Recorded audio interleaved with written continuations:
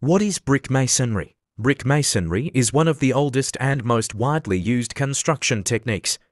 It involves carefully laying bricks in a specific pattern and bonding them together with mortar to build strong and durable walls, columns, or other structures. A well-done brick masonry job ensures not only the strength and stability of a structure, but also its appearance and resistance to weather and time. Key steps in brick masonry work. Brick selection. High quality, well burnt, and uniform bricks are chosen to ensure long-lasting performance.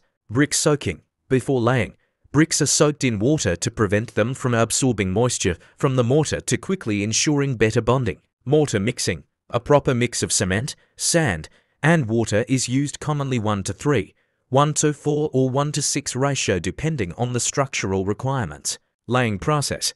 Bricks are laid in horizontal layers or courses with uniform joints, proper alignment, and plumb maintained. Every joint is filled with mortar and excess is removed for a neat finish, checking level and alignment. Mason's line, spirit level, and plumb bob are used to keep the wall perfectly straight and vertical. Curing.